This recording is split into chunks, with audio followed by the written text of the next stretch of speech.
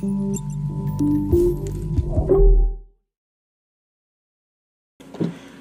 what's up guys? Matt from Upsilon Mining coming back at you with another video and in this video I wanted to quickly uh, go over my analysis on um, Ethereum Classic post ETH merge. So as you guys know, obviously, Ethereum is going away. Can't mine it anymore. If it can't be mined anymore, you're going to have to mine something else. And a, lot of the bigger arguments I am seeing, uh, especially those who purchase ASICs or who want to purchase ASICs that can mine Ethereum right now, is that they can mine Ethereum Classic. or those who are using uh, 4 gigabyte cards and they want to switch over to Ethereum Classic after Ethereum. So I was curious for my own, um, you know, for my own reasons as well. You know, I do have some Polaris cards that are 4 gigabytes. Uh, and I have them mining um, not Ethereum Classic. They were before, but they're mining Ergo now, but like I wanted to think in terms of Ethereum Classic. And the same goes for if you had, let's say, a, a 3080 Ti or 3070 or whatever the card may be, and you wanted to mine Ethereum Classic after. So this is for the scenario where going from Ethereum, Ethereum to Ethereum Classic after proof of stake. So let's take a look quickly at the numbers for the current numbers based off of um, a um, Jasminer, uh, XI4U, I think it is. What's it called? X4U. Um, so this uh, just Jasminer is the efficiency king when it comes to Ethereum, and it currently mines uh, 540 mega hash per second at 240 watts, which is great. And if you look punch in the numbers right now as it stands today, um, with a say 10 cent kilowatt uh, 10 cent per kilowatt hour uh, we're looking at profitability of 1065 a day. Let's actually put in let's put in my cost which is 12 so we're looking at right now a 1049 per day of uh, Ethereum and uh, 760 per day on Ethereum Classic. Now I think I did the spreadsheets with 12 cents but the numbers will be close enough that it shouldn't really matter, and you'll see why in a second. So I punched that these numbers in, as well as I've done the numbers for a 3080 Ti. So a 3080 Ti can get around 119 mega hash per second with the new LHR unlock, around, say, around 300 watts or so. Uh, with that, the day current um, profitability for Ethereum on a 3080 Ti is $1.74, and on Ethereum Classic, we're, say, $1.11 the numbers are really close 12 cents 10 cents per kilowatt hour. It's very it's very close. So let's just ignore the discrepancies and some of those small differences. Now I wanted to do the comparison comparative analysis and explain what uh, I see here. So the Jasminer X4U I could be getting the name wrong to be honest with you. What is it? It's a Jasminer X41U okay Jasminer X41U uh, will cost around $8,800 Canadian to purchase right now from Jingle Mining. Let's, let's take a look at that. And I only made this video because I was curious myself and I really wanted to buy one of these um, these miners. So let's take a look here. This is the popular one that's pulling so 65.99 shipping with shipping. I, so this isn't even including shipping the cost. So 65.99 USD to Canadian is $8,300. So let's just put the numbers in 8,300. Okay, so you put the cost of purchasing that piece of hardware, okay, in Canadian dollars. right now, I punched in the numbers based off the hash rate, electricity rate. Um, cost per day is 77 cents to run this thing, which is amazing. Uh, cost per year is $280. Your profit per day is 1341 Canadian and on Ethereum Classic, your profit would be 968. Now, as you know, uh, most people are going to mine Ethereum right now, but that's going away, and it could be going away as soon as August. So you might only have two months or so to to uh, to mine on that. And let's say this the current situation maintains the way it is. The values of Ethereum don't go up, but you're able to continue mining it indefinitely. It'll take about 680 18 days to break even. With Ethereum Classic, we're making 968 per day and we are we're ROIing on 857 days, which isn't awful either. Uh, just under what, just over two years, not too bad in my opinion. Standard ROI in most business uh, operations could be three to five years, right? So that's pretty good. Now let's take a look quickly at the hash rate. The current hash rate now on Ethereum is 15, uh, sorry, 1.08 petahash. So that's one followed by 15 zeros. That's a very big number, guys. Okay. Um, the hash rate on uh, Ethereum Classic is only 24 um, terahash, which only has 12 zeros, or 1,000 times less. So if we say, let's just take a look at the numbers here. 40, actually 1,000 times less, 45 times more hash rate is on Ethereum than Ethereum Classic. Now, let's say the merge occurs. Um, the numbers remain the same on this piece of hardware, right? So the hash rate, the watts are the same, electricity rate's the same. Let's say assume that everything's the same. Uh, profitability on Ethereum is zero now, so you'll never you'll never ROI. So ignore this one here. That's a moot point. It's not possible. So you're gonna have to merge Ethereum, uh, mine Ethereum Classic, right? So th these ASICs can only mine uh, Ethash algorithms. One uses ETC hash and one uses Ethash, right? ETC hash is for Ethereum Classic and Ethash is for Ethereum. Um, let's say, based off of a migration factor of one, meaning everything will move over to Ethereum. Everything that's currently in Ethereum will go to Ethereum Classic. Okay, so that'll increase the hash rate by a 46 fold on to Ethereum Classic, which is um, 1.1 petahash will be on Ethereum Classic. Now, given the current uh, amount of profitability per day and doing the division by the factor, we're looking at a 21 cent profit. Short, man, allergies bugging me. 21%, uh, 21 cent profit per day on Ethereum Classic with 1.104 petahash on Ethereum Classic, meaning we're assuming everyone that's on Ethereum will go over to Ethereum Classic. Now we know that won't be the case.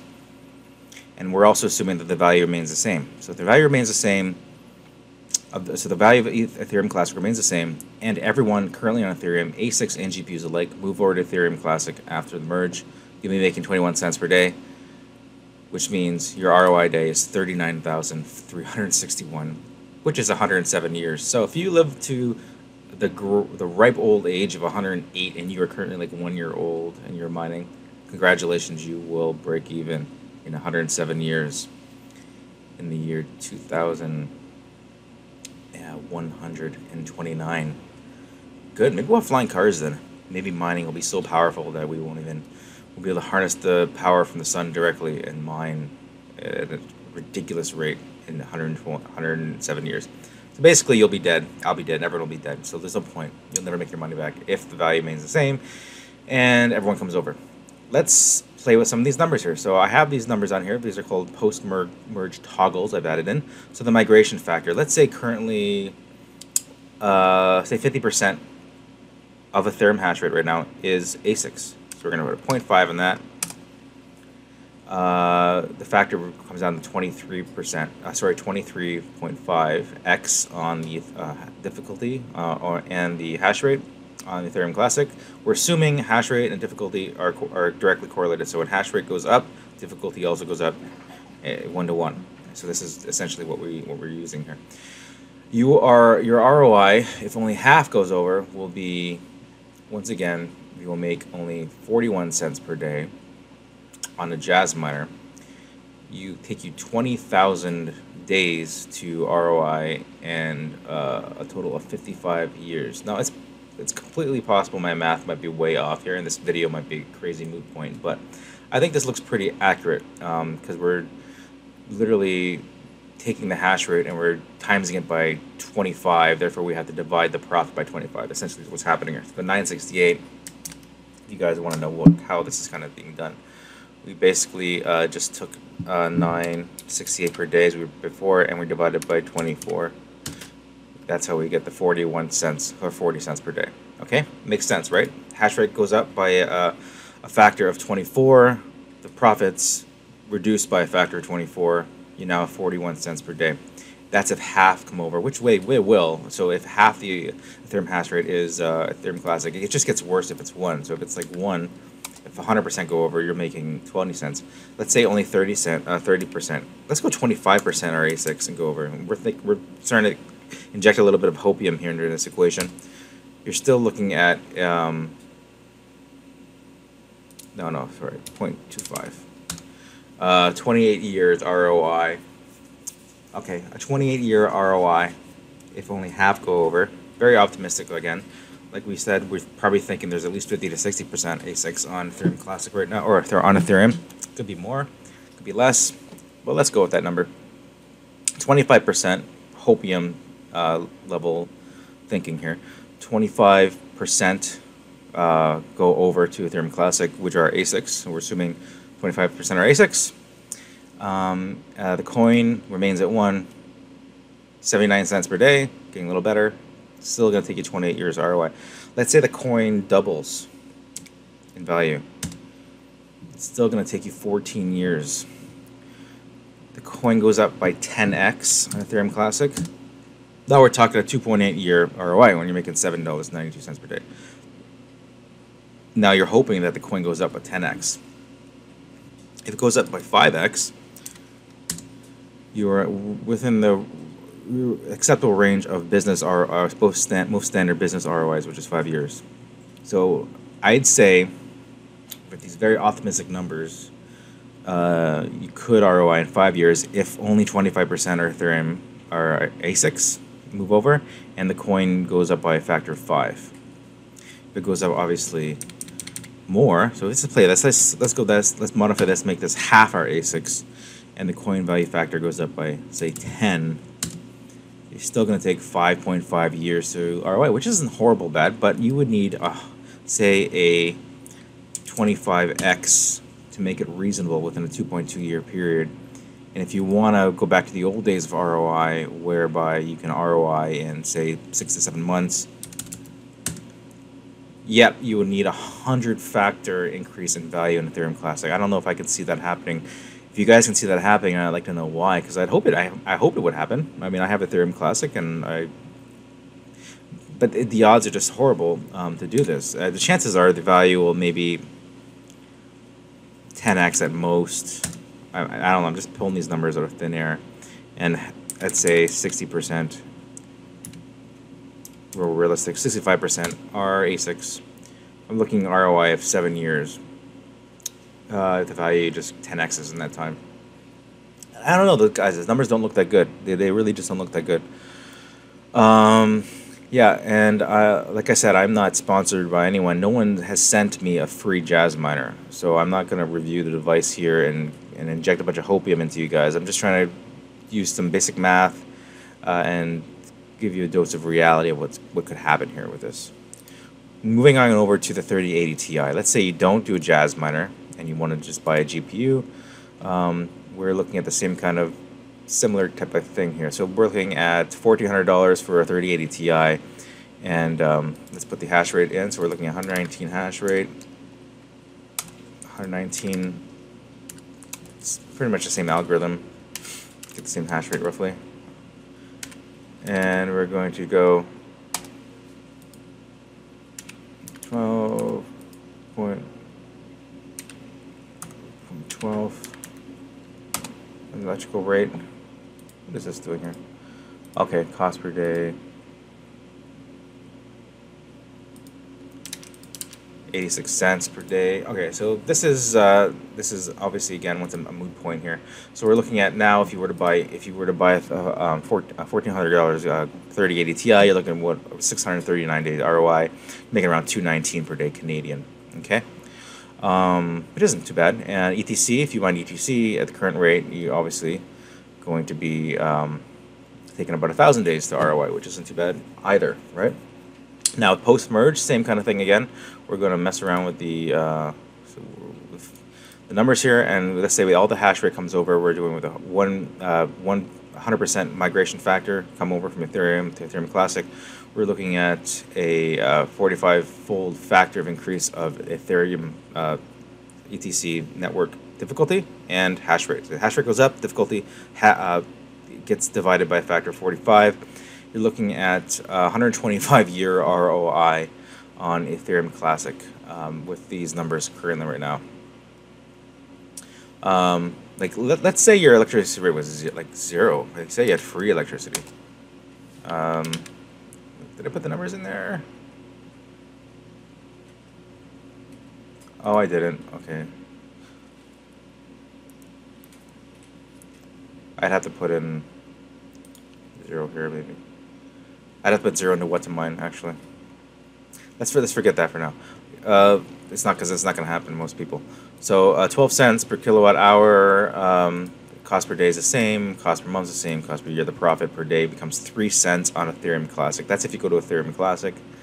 Um, you're looking at, at never ROIing, but let's let's reduce that migration factor down to say 50%. 50% of everything um, ASICs go from Ethereum to Ethereum Classic. We're looking at a 64 year ROI if the coin value doesn't go up. The coin 10x's in that time. Looking at a six year, which isn't, isn't too bad. Obviously, the 25x's, you can get two and a half years. You'd have to get a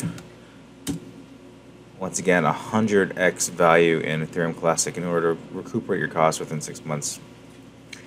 So uh, yeah, I'm not sure what's better here. Let's let's look at the numbers here. So let's put 0.65 and 10 here. What's actually better?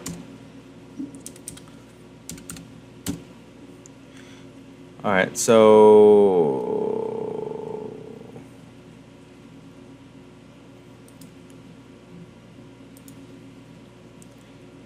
Okay, so if we put the same numbers in, your ROI on Ethereum Classic for a Jasminer, um, once proof of stake hits with these numbers, 65% and 10 a coin value factor of 10 increase, you're looking at a seven-year uh, return, 7.1 year return, and a 3080 you're looking at 8.2 year return. So the returns are very similar, almost identical, but uh, the benefit is if you bought these GPUs, you can go mine uh, like Ravencoin or you know Ergo or Flux, which is hopefully something I want to do quite often. I like Flux. I like the Flux network and everything.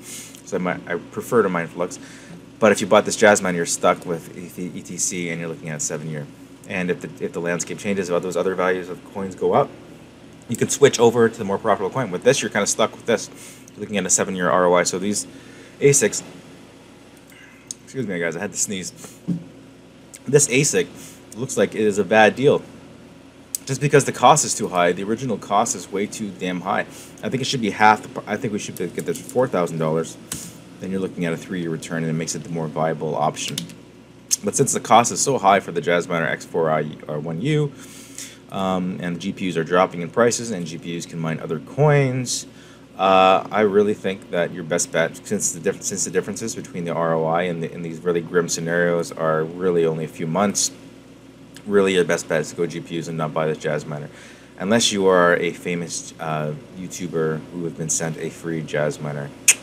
wink, wink. If you've been sent a free Jasminer, then yeah, take it for free. Why not? Take anything for free, right? Anyways, guys, um, that's kind of where I'm going to leave this at. So if you guys like this analysis, if you think it was good, there's errors in my calculations, please let me know and let me know what you think about this. Do you think it's a good idea to buy this this Jasminer X4 IU? I don't think it's a good idea at all. I don't think it's a terrible idea. So I would not be tempted by these other guys' videos and go and buy one and use their discount discount codes and whatnot. Don't buy them because you're just you're losing your money. You're better off just going to buy a GPU um, and mining with GPUs because GPUs can mine ETC as well, right? Don't forget. But the, the cost for yes with this extreme efficiency you'd think that this is a better bet but this cost is so high uh, I just don't think it's worth it according to my spreadsheet and my numbers here anyways guys I will leave it there if you like this video please comment subscribe and like and I will see you in the next one